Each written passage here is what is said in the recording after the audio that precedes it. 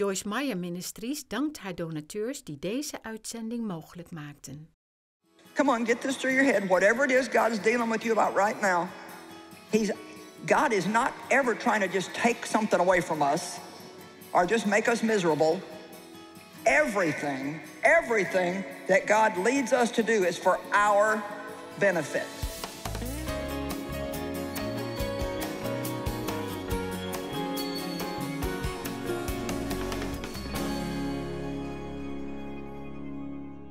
I really want people to study the Bible, not just read it, but study it. And the first three chapters of Ephesians are all about how much God loves us, the grace of God, just his mercy, his forgiveness, our inheritance in Christ, who we are in Christ. And that has to be the foundation of our walk with God. Before we ever get around to teaching people how to behave right, we must teach them who they are in Christ. And so I try in my teaching to keep a good balance of that. I teach a lot on behavior, do this, don't do this, but I always work in who we are in Christ because if you try to teach people how to behave without them knowing how much God loves them and that his love for them is not based on their behavior, if that's all we teach people, which a lot of religious organizations are very guilty of that, and it just frustrates people no end.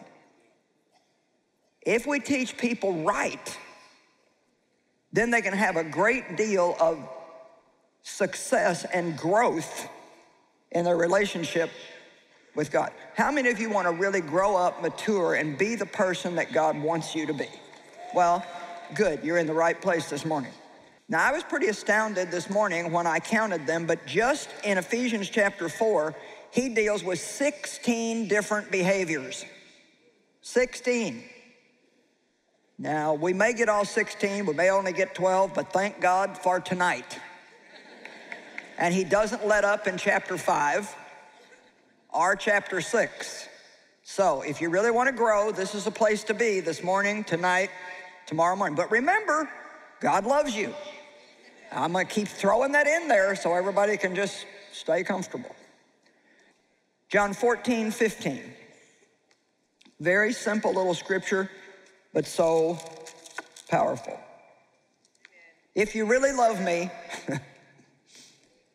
you will obey my commands. I love it. If you really love me, Jesus said, this is Jesus talking.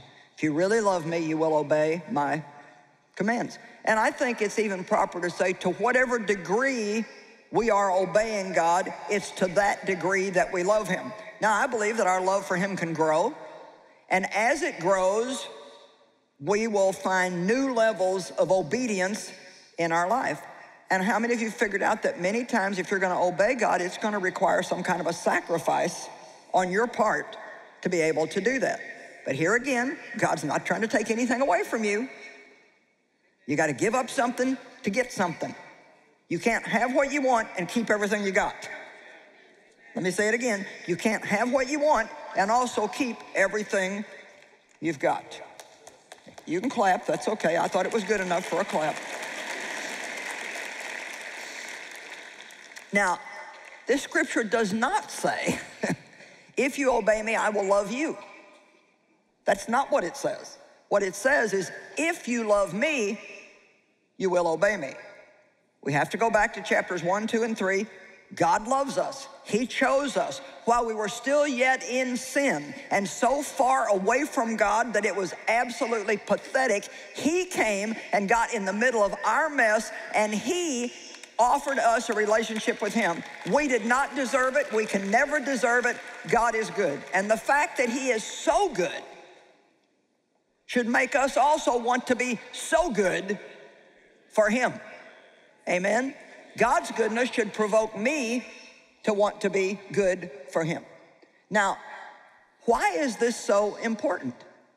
Well, in Ephesians chapter 4, verse 1, Paul said, I therefore, the prisoner for the Lord, and we've already noticed that he keeps saying that over and over I am a prisoner for the Lord. And I guess if he's saying it that often, we should take notice that Paul was willing to suffer in order to bring us the messages that we hear today. Anytime you want to do something good, now listen to me, anytime you want to do something good for somebody else, it's going to cost you a little something.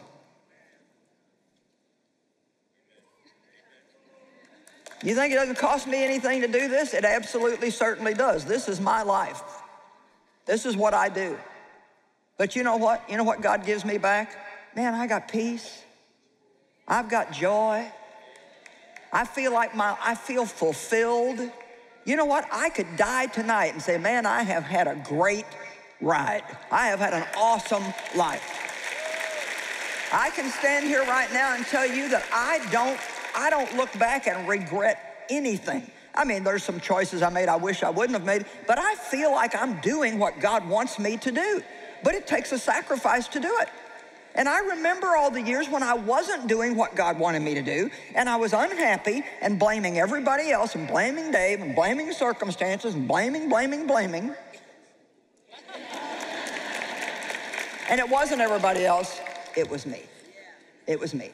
And until we take responsibility for where we're at, and where you're at may not be your fault, but if you stay there, it is your fault. Amen? I, therefore, the prisoner of the Lord, appeal to and beg you to walk and lead a life worthy of the divine calling to which you have been called, with behavior that is a credit to the summons to God's service. Now, 2 Corinthians 5.20 says that we are ambassadors for Christ, that we are his direct representatives in the earth. And listen to this that God is making his appeal to the world through us. I don't know about you, but that that's kind of awe-inspiring to me. That God is going to get to other people through us, through me, through you. You say, well, Joyce, I'm not a preacher. Uh, yeah, you are. Really, you are. You may not do it like this, but you are. Your life is preaching at work. Your life is preaching in your neighborhood. Your life is preaching in how you relate to people every place that you go. Your life is a sermon. And Christians are Christ followers. That's what we are. When Jesus said, Follow me, he spoke the two greatest words for leadership that we will ever hear. All a leader really needs to do is be an example for other people to follow. Paul said, Follow my example. Wow. I wonder what people would think if I stood up here and said, Listen, if you just follow my example, you're going to be doing everything right. Well, you'd probably think I was full of myself, and maybe I would be, I don't know. But Paul said that follow my example. Well, you know what? I think honestly, we all should be able to say that. We all should be able to say, if you follow my example, you're going to be doing what God wants you to do. You know, one of the songs that we sang earlier, and I noticed people kind of had a good response let my deeds outweigh my words. And I think that's so important. You know, talk is cheap. And what we say can affect people, but if we say one thing and do the opposite, it actually has a very negative effect on people. And that's one of the reasons why religious, religion and religious people in many instances have really turned people off because they can act like they're too good to even speak to anybody else that's not like them. And just the very fact that they do that is a message that doesn't minister Christ's character to them. So it's very important. I think, it's, I think there's a lot of things that are important that we don't think are important anymore. I think it's important that we take care of ourselves and do the best we can. I think it's important that we look our best when we go out and we, I, well, I better be careful, I'll get myself in trouble. But. You know, I know I come from another generation, but, and I guess whatever you're born into, you just don't get over it. But, you know, I just, you know, we, everybody's casual today. Well, maybe that's well and good, I don't know, but our morals have gotten kind of casual too. And so we need to make sure that it doesn't drift over into everything in our lives. I think instead of being casual, we need to be careful. The Bible says be careful about how you behave and be careful about your thoughts and be careful what you do with your time and be careful the words that you speak. You say, boy, this is sounding like a full-time job, this Christian stuff. Well, it is. You can't, you can't just serve God with 10% of your time and ever do it right. You got to get in, get out, or get run over. Amen? And that's a good word for today. Get in, get out, or get run over, but stop sitting on the fence being lukewarm. If we're going to follow God, it's time to follow Him with our whole heart. Matthew 21 18 and 19. In the early dawn the next morning, he was coming back to the city and he was hungry. This is Jesus. Jesus was hungry. And as he saw one single leafy fig tree above the roadside, he went to it, but he found nothing on it but leaves. Seeing that in the fig tree the fruit appears at the same time as the leaves, he said to it, Never again shall fruit grow on you. And the fig tree withered, withered up at once and died. Now, you know, I used to say I felt sorry for this fig tree because I didn't understand why Jesus cursed it just because it didn't have what he wanted it to have. But the thing about the fig tree is it had leaves, and when a fig tree gets leaves, it's supposed to have fruit. And I think a lot of Christians have leaves and no fruit. Amen. We go to church, we've got a bumper sticker, we hang a cross around our neck, we know a little bit of Christianese language. Come on. We've got our headphones, we, you know, we take our Bible to work. But fruit, love, joy, peace, patience, goodness, kindness, meekness. Those are the things that the world needs to see. Do you have proper fruits that back up your claim of being a Christian? Do you examine the fruit of other people to see if they're the real deal, or are you merely impressed by what they say? Nothing leads to deception quicker than being impressed by what somebody says and not paying any attention to the real fruit or lack of fruit in their life.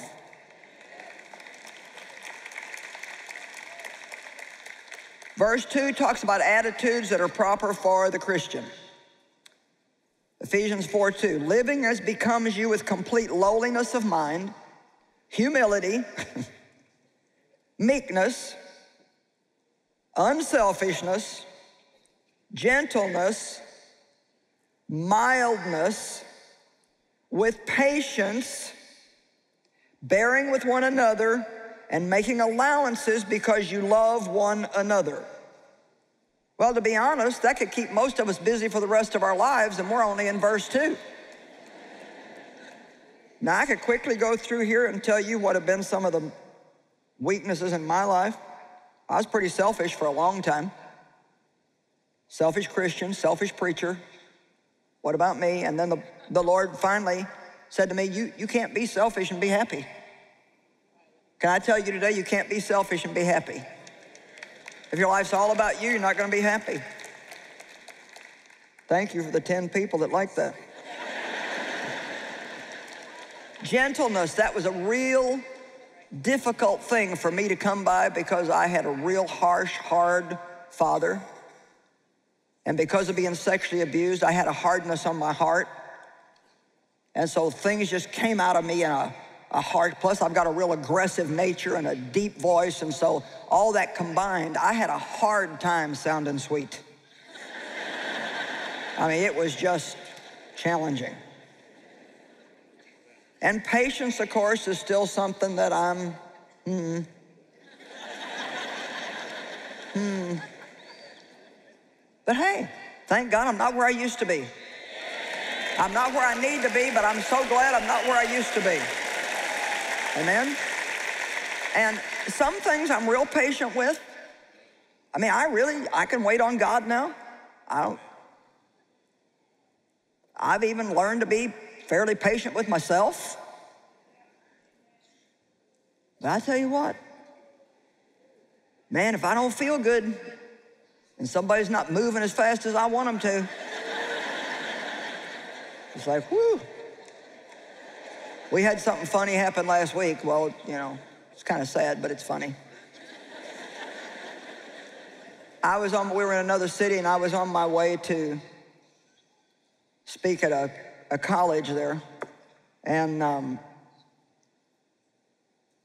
we had to cross the railroad tracks and there was the,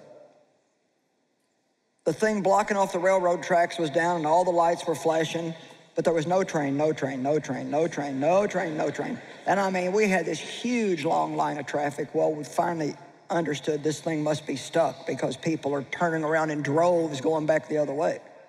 So we had to turn around, take a different route. Well, now I'm thinking we're going to be late. Well, there's nothing that I hate worse than being late for one of my own things. I just can't stand to get to these meetings late. I feel responsible and I want to be here to make sure that everything is happening the way that it should be happening. So I can get a little bit testy if it looks like I'm, how many of you have little buttons that can be pushed that, you know? So, Dave is very good about stopping to let people in. Because he's like, nice.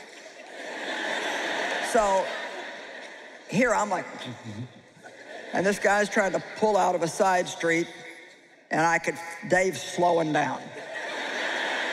And I said, This is not the time to be nice.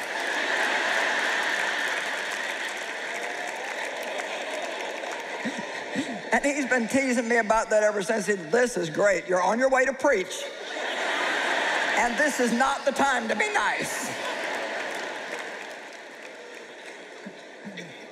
So let me just say if you still got a ways to go, I get it. I'm with you. I totally understand. Humility is so important. I guess humility is probably the cardinal virtue. If there's anything that we really need to pray for, make a special point of study. Andrew Murray says you're never going to walk in humility if you don't pray for it and study it and really work with the Holy Spirit to have it developed in your life. And humility is it's the opposite of pride, and pride is the root of all sin. That was this sin that Lucifer committed. I will, I will, I will, I will. And so we need to learn more about humility and, and keep that in our hearts at all times. And, you know, there's a four part series that we could do on humility, but we don't have time to do that today. And so let me just say this a humble person never thinks that they're better than other people. They, don't, they just don't think like that. And um, they remember that they have weaknesses too. That but for, but for the grace of God, there go I. And we're very good at whatever we're good at. We judge other people who are not good at what we're good at, but we we forget, and that's covered in chapter four too, that everything that we are good at is a gift from God. It's not something we just have ourselves, it's something that has been given to us. And this is why thankfulness is so important. Thank you, God, that I have the ability to do this, but I know that it's your grace. Help me not to be impatient and haughty with people who can't do what I can do. And I love it when people humble themselves to do something that they really wouldn't have to do. That's showing that they don't think they're the end all of everything. And there's so many things that we can do that will let other people know. Like my husband, he sits in every one of these meetings. And Dave laughs at my jokes, although he's heard them a thousand times before. He knows what I'm gonna say half the time before I say it. And he, I don't know if he is or not, but the man looks really interested all the time. I mean, he honestly looks interested. And, and I, th- I think that, that says a lot about character. See, what we're looking for today is character in an age of image. Today, everything is about image. How many people are on my Facebook? How many people responded to my tweet? Boy, now we've got Periscope and Snapchat, and I mean, it just keeps going on and on and on. I, you know, I got lost at the selfies. I can't, I can't, I mean, I cannot stand around and take pictures of myself all day. It just doesn't work for me. It just doesn't. And besides that, I end up looking like I've got a real, I mean, I've tried a few times and it just does not turn out right. Amen?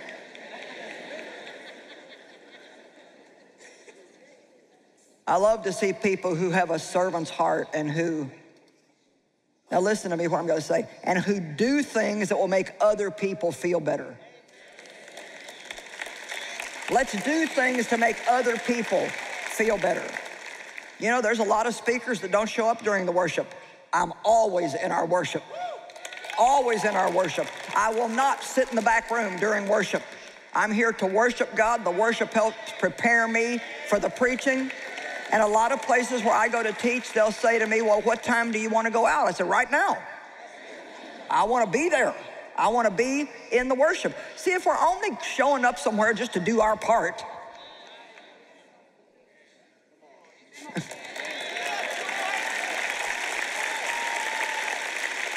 I'm not here just to come out on the platform and be the big star. I'm here to participate with everybody else in worshiping God and learning and growing. Amen? And that's important. Dave's always here right from the beginning. Once in a while, when he goes out on Friday night and signs books, people keep him a little bit longer, but he's always, always, always in here. You know, one of the most important things that we see about Jesus is found in John 13. He washed his disciples' feet. It says, He took off his garment and he put on a servant's towel. And when he was finished, he laid aside the towel and put back on his garment. And there's such a message there. We may have a cloak of authority and we, we may have a cloak of importance or whatever it is, but we need to be willing to lay that aside sometimes and put on a servant's towel. And then when we're done doing the menial thing God wants us to do, you can put it back on and walk in the thing that you're called to do. Thank you. Somebody likes this. All right, patience. Wow.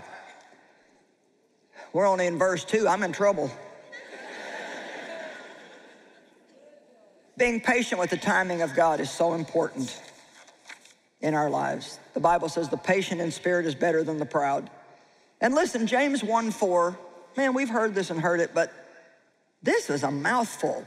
Let endurance and steadfastness and patience have full play and do a thorough work, so that you may be people perfectly and fully developed with no defects, lacking in nothing. This scripture is saying that if a person can ever become fully patient, there will be a mature person lacking in nothing. You know what that means? If I'm completely patient, I'm happy no matter what's going on in my life. Wouldn't that be cool?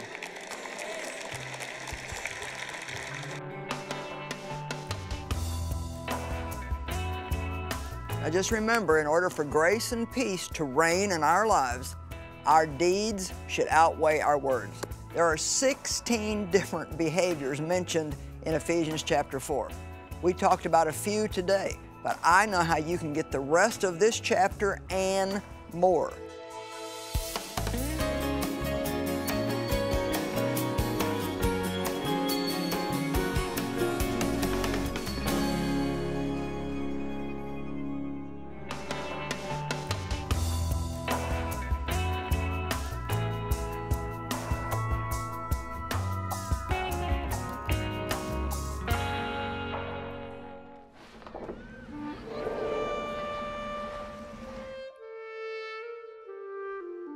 This community likes boys, so they want their boys to go to school first. The girls, they don't have any, any value when it comes to education for them. So if they can get some money for her and not have the burden of having to care for her, it helps the family. The flags that you see on the homes over my shoulder represent a long-standing tradition that is very difficult on girls.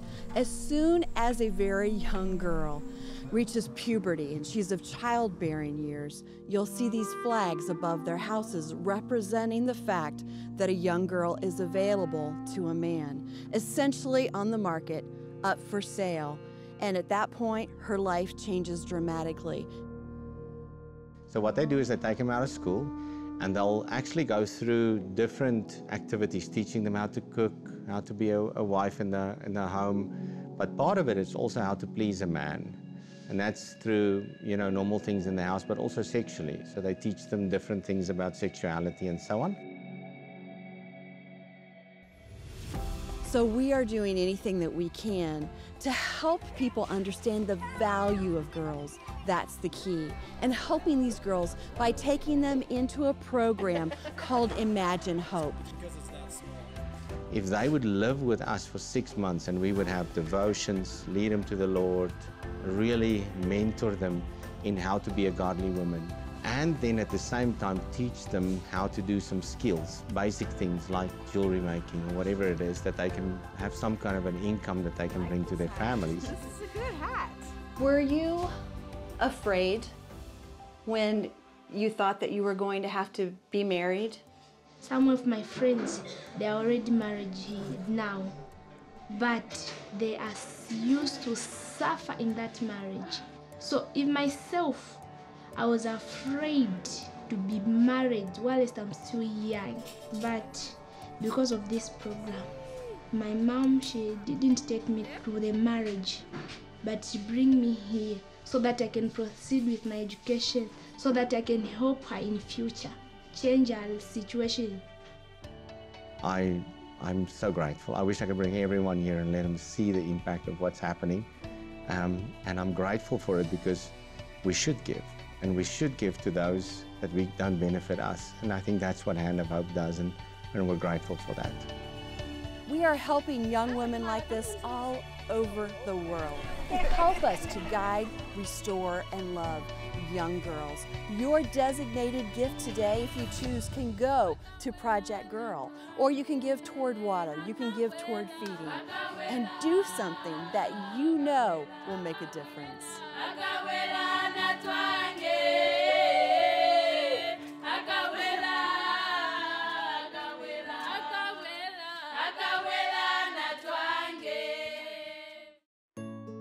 Know, the Word of God teaches us that if we are willing to share what we have, God can multiply that and make it into a lot more than what we started with. So please share. Help ons om andere mensen te kunnen helpen. Bel ons 026 20 22 100 of ga naar joyce-meijer.nl slash partner. Elk gebed en elke donatie telt. Samen veranderen we de wereld. Fear is everywhere and affects everyone, including me. But with God's help, I've learned how to move forward in the presence of fear and do it afraid. I wrote this book because I want you to experience the peace that Jesus died to give you.